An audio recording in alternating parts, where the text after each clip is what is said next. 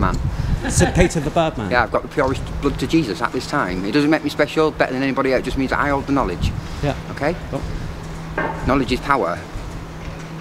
I've worked out how to manipulate reality by controlling the energy. I'm not lying, okay? Yeah. The only reason that you're all not dead now is because I'm holding it back because I love you all, okay? okay? Well, I'm glad to hear that. There's a problem, okay? I was born on the 16th of February, three days after Jesus died, but a different year. That's why they say he rose three days later.